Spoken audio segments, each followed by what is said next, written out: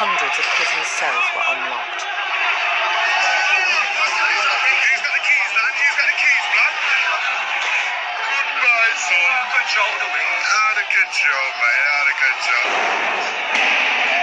They are out on the exercise yard of November Papa Wing over. It's prisoners over. Yeah, it's the prisoners over.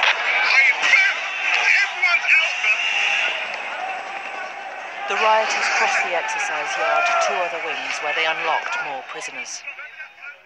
P wing unlocked, N wing unlocked, Mike wing unlocked. And it's just the final wing is L wing. Up to 600 prisoners were now on the loose, and some of them were broadcasting live on social media. I can remember seeing hordes of prisoners running around. They sent a shockwave through the prison. A phys- it was a physical shock throughout the prison. Just saw some riot police actually running away. You could see staff were genuinely scared. You could see the fear in the face from, from everybody.